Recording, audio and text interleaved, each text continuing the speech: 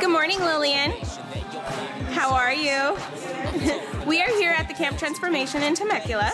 You are about to start your challenge on January 11th. Are you excited? Yes! That's awesome. Okay, so let's go ahead and get you on the scale and see your weight. 2092.